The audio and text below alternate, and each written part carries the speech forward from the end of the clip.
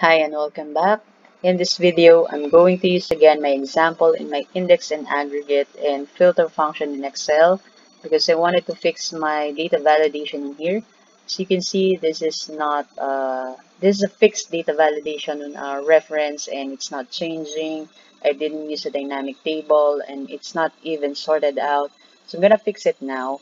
And my first example is to make a neat reference for my data validation sorted out without the zeros, without anything else. It's been updating when you include items, and that's the first one. Now, the second part is a data validation with uh, an advanced feature that is a search function. So I'm going to include uh, the new uh, formula in Office 365, which is the search function for that. So let me start with the first one, the simple example. So, so in here, I'm going to use my uh, brand here, the list of brand. And the first thing that I will do is to get the unique value. So I'm going to use the unique function in Excel, a new formula for available on Office 365. I'm going to use this range here for the brand and then the rest of the argument, let's check it. Uh, that's optional. Let's leave it blank and close it. That's it. Enter. And that's the unique values on that list. Now, the, the second thing is to sort it out. And I'm going to use again a new function with this, which is the sort. The sort. And again, I just need an array here. All the rest are optional. optional. Let's just leave it blank and close it. Close parenthesis, enter. And that's it. That's now uh, being sorted into from like A to Z. So let me just put, uh, or let me test it. Uh, let me change it into A. It's now updating here. Control Z, since this is formatted as table, just uh, let's see if uh, I can add an item here. Let uh, let me put some Z here, and this is an example. It's now formatted, included in the table. It's and it appeared here on the list. Now, if I remove that, for example, uh, I deleted not the column, just the item. I clear the content. It's now on zero.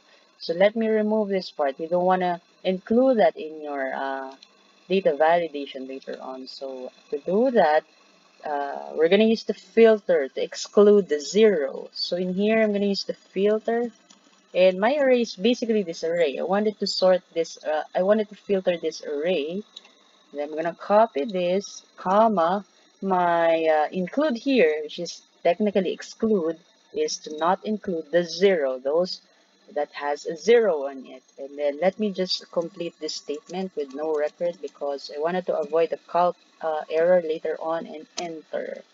And that's it. The zero here is now removed even if uh, it's included in here.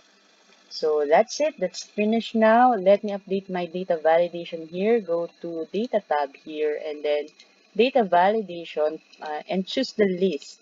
And then my source here, I'm going to replace it. This is the old source and just pick the first cell that contains your formula and then put a hashtag on that so that it will include all the spills here, all the spills that it will create, and then okay. And that's it. Let me check it if that's okay.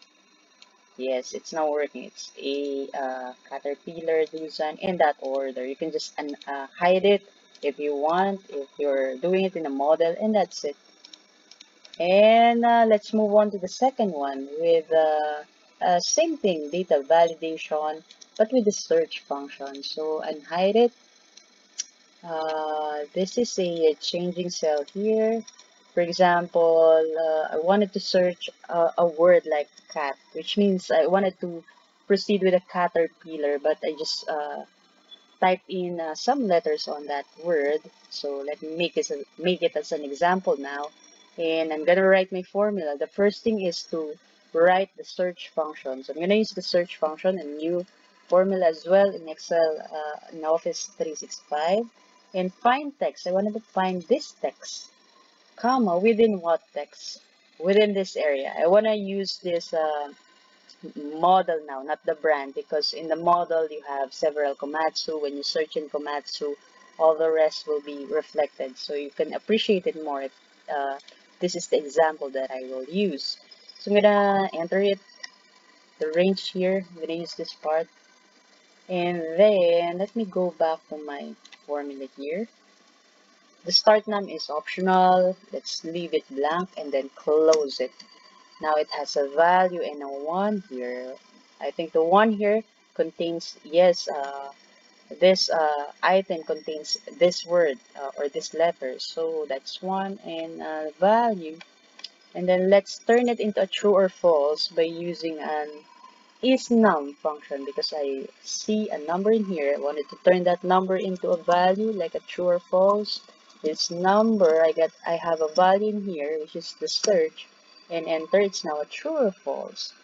And then the next thing is to filter it. Filter what? I wanted to filter this.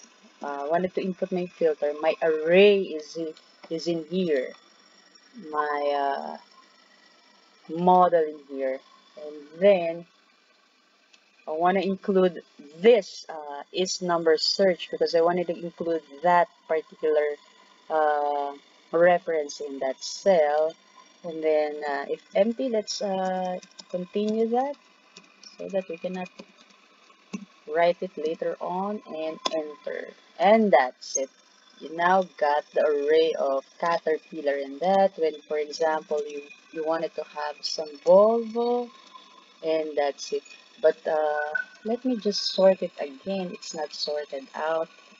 Just put some sort function for that just the array and enter. That's it. It's now uh, sorted out. It's now uh, okay in my case there's no zero value for that we use uh, it's a little different with this example and that's it you can now turn it into a validation for example you wanted to have some Doosan in that.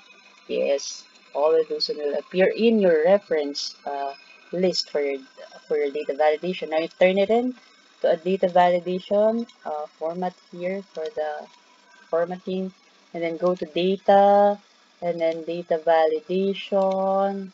Uh, choose the list, and again choose the first cell that contains your formula. Put a hashtag to include all the spills, and OK. Then let me check it, that's it. So let me erase that first. It's now uh, contains the list and then yeah, when you search for cat, all the caterpillar will appear here for Volvo. Sorry for that. For Volvo, uh, it now appears in Komatsu. Uh, that's it. It's an enhanced version of your simple data validation. It's quite more appreciative in terms of using it. It's more for the user. And that's it. I'm finished here. I'm done. If you're liking my videos, you can subscribe in my channel and see you next time and thanks.